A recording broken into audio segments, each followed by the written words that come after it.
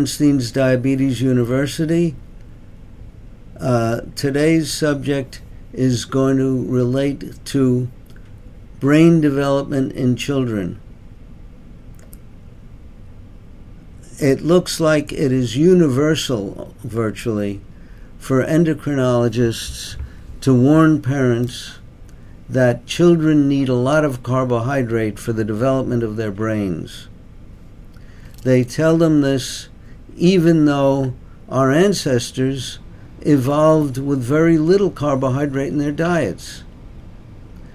Um, and they tell them this in spite of the fact that uh, many articles have been published recently in the diabetes journals showing the brain damage that occurs rapidly in young children who manage to achieve high blood sugars thanks to the uh, high, high carbohydrate diets that are being universally recommended.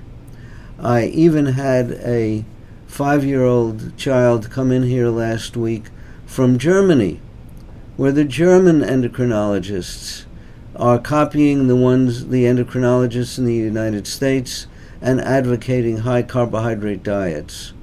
And in this particular case, uh, the mother was fed up with the uh, roller coaster blood sugars that she was getting from the high carbo diet, and on her own uh, lowered the blood sugar swing by cutting the carbo in her uh, son's uh, diet, and uh, eventually ended up coming here because she wanted normal blood sugars.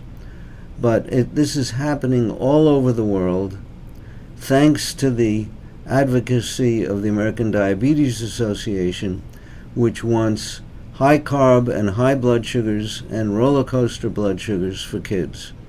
And in their own journals, they are publishing articles showing the damage that occurs to brains thanks to the high blood sugars. And uh, this occurs to brains of all ages. Recently, they published on impairment of IQ thanks to high blood sugars, that uh, diabetic children just do, do not grow up with the same IQ that they had when they were younger if they manage to have high blood sugars. Uh, you'll, you'll see, along with this video, pictures of brains of children who have uh, been put through the high blood sugar mill thanks to uh, high dietary carbohydrate. You've seen an earlier video where we talk about gluconeogenesis, where anybody can derive glucose from the amino acids and proteins. So, if you are eating a high protein diet, you can convert the amino acids to glucose anytime you need glucose. And your blood sugars do not have to drop too low because you're getting plenty of protein uh, to provide you with amino acids and indirectly with glucose.